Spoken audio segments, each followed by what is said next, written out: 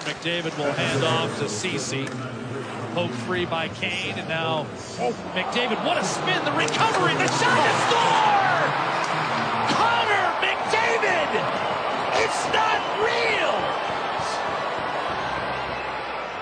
I'll tell you, we've watched him for so many years. The way he works in the offseason on edge control, spinoramas, everything he can do. And in situations like this, you can never really be prepared for this, but maybe he is the most. He goes down, spinorama, pops back up, and somehow that puck was loose.